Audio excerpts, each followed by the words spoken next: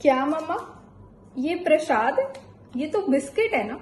मंदिर में बिस्किट रखने से वो प्रसाद बन जाएगा? हरे कृष्ण, आप सबका स्वागत है इस कौन बीकानेर के ऑफिशियल यूट्यूब चैनल पे।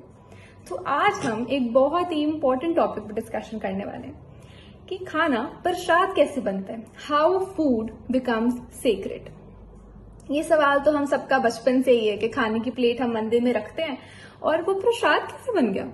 तो आज हम इसी पे चर्चा करने वाले हैं। तो वो लोग जो ये समझ सकते हैं कि खाना प्रसाद कैसे बना, उनके पास एक स्पेशल क्वालिटी है और वो है स्पिरिचुअल विजडम जी हाँ। तो यूजुअली हम ऐसा सोचते हैं कि खाना किसी प्रोसेसिंग हाउस में बन रहा है, किसी फ़ूड फैक्ट्री में बन रहा है। बट नहीं।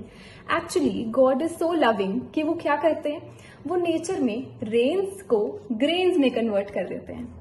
और जब हम उन्हें खाना ऑफ़र करते हैं it's just a practical way of saying him thank you कि उन्होंने नेचर में कुछ ऐसी अरेंजमेंट करी कि रेन्स को ग्रेन्स में कन्वर्ट कर दिया। इसीलिए उन्हें थैंक यू बोलने के लिए हम प्रैक्टिकली उनके सामने ऑफ़र करते हैं भोगा और फिर उसको पाते हैं। अब यूजुअली हमारे वैदिक कल्चर में ऐसा ट्रेडिशन था कि हम खाना खाने से पहले भगवान जी को थैंक यू करते थे कि thank you God for giving us food तो मेरे स्कूल में ऐसे एक छोटी सी प्रेयर होती थी thank you God for giving us food thank you God for everything पर जैसे जैसे हमारा टाइम और शॉर्ट होता गया शेड्यूल और टाइट होता गया तो हम ये सब वैल्यूज़ धीरे धीरे भूल रहे हैं। तो it's just a way of saying thank you to God for his mercy कि उन्होंने रेन को ग्रेन में कन्वर्ट कर दिया। अब जब उन्हें हमें खाना ऑफ़र करते हैं तो होता क्या है कि उन्हें अच्छा लगता है। जैसे अगर एक पेरेंट है, वो अपने बच्चों को कुछ चिप्स लेके दे रहे हैं तो पैसे किसने खर्चे? पेरेंट्स ने। चिप्स लेके किसने दिए? पेरेंट्स ने। अब बच्चा सिर्फ़ इतना बोल दे कि, पापा, आप एक चिप्स खा लो, मम्मा, आप खा लो। तो पेरेंट्स को बहुत अच्छा फील होता है। सिमिलरली खाना सब भगवान ही बना रहे हैं। हम उनको बस ऑफ़र करते हैं कि पहले आप खाओ तो उन्हें इससे अच्छा फील होता है। तो अभी तक हमने टू पॉइंट्स देखे। एक तो हम उन्हें थैंक यू बोल रहे हैं कि उन्होंने नेचर की कुछ ऐसी अरेंजमेंट करी है कि रेन्स को ग्रेन्स में कन्वर्ट कर दिया। एंड सेकेंडली हम उनको एक तरह से ऑफ़र कर रहे हैं कि पहले आप खाओ और इससे उन्हें अच्छा लगता है। अब जैसे हम यूजुअली देखते हैं कि हम घर में कुछ भी नया बनाते हैं, छोले भटूरे बना लिए, कुछ हलवा बना लिया तो हम अपने नेबर्स को वो चीज़ देकर आते हैं कि, आंटी, आप ये ट्राई करो, मैंने आज ये बनाया है। तो जब हम उन्हें वो डब्बा पैक करके देते हैं तो वो हमें खाली डब्बा वापस नहीं करते हैं। वो उसमें कुछ स्वीट्स भर देंगे, कुछ चावल भर के वापस करेंगे। तो सिमिलरली जब हम भगवान के घर जाते हैं, जब हम मंदिर में जाते हैं, जो भगवान का घर है तो हम प्लेट सजाकर उसमें खाना डालकर लेके जाते हैं। तो भगवान क्या करते हैं? उसे हमें वैसे का वैसा वापस नहीं करते। उसके अंदर अपनी लव अपनी मर्सी अपनी कृपा भर के देते हैं वापस।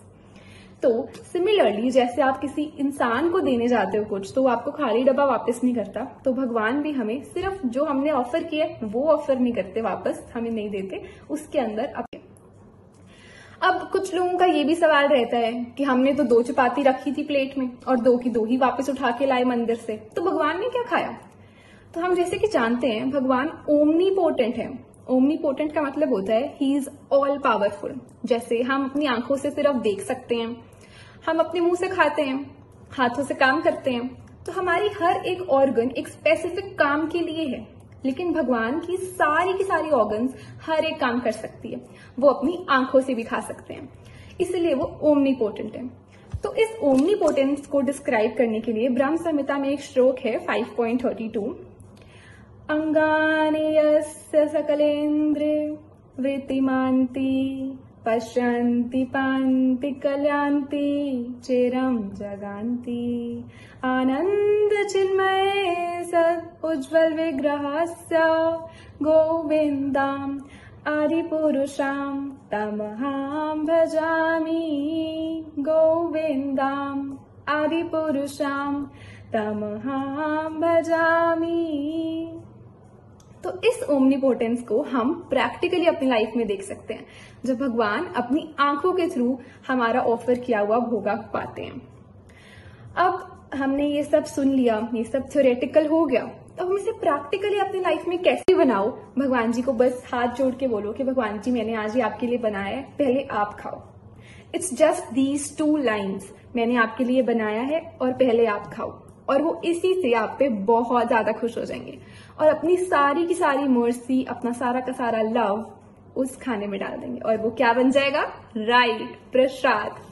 तो आप भी ये ट्राई करिए और इसे प्रैक्टिकली इंप्लीमेंट करिए। तब तक I will enjoy my prasad. Hare Krishna. इस वीडियो को लाइक करें और ज़्यादा से ज़्यादा शेयर करें और हमारे चैनल को सब्सक्राइब करें। हरे कृष्णा।